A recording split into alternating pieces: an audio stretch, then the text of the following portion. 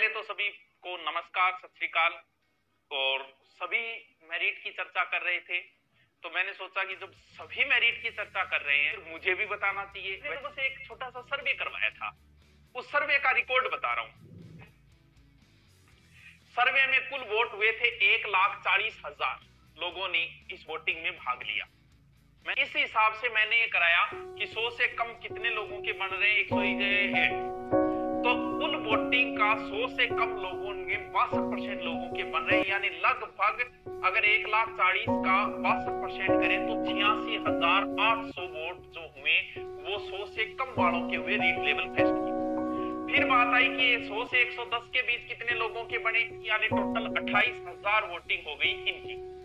110 से 120 के बीच में 8 परसेंट यानी ग्यारह हज़ार, लगभग 200 लोग जो है वो इतने के बीच में है। फिर आई 120 से 130 मात्र 4 परसेंट लोग थे, यानी लगभग छप्पन लोगों इतने के बीच थे। 130 से 135 है 130 से ऊपर वाले मान लेते हैं, कितने वोटिंग थे? 6 परसेंट तो मान लेते हैं चौरासी लोग इसके अंदर थे। अब अगर मैं इसकी वोटिंग देखूँ तो अगर मैं 100 से ऊपर वालों का टोटल काउंटिंग करूँ तो लगभग 50 से तिरपन हज़ार लोग हो जाते हैं। और रेड लेवल फेस्ट की पोस्ट लगभग अठारह, उन्नीस हज़ार मान लेते हैं।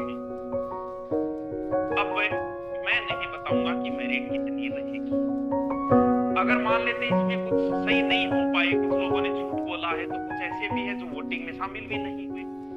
वर्तमान दौर की अगर मैं सीधी सी बात करूँ तो भैया पैंसठ, सत्तर से नीचे मेरिट की तो सोचनी ही नहीं चाहिए।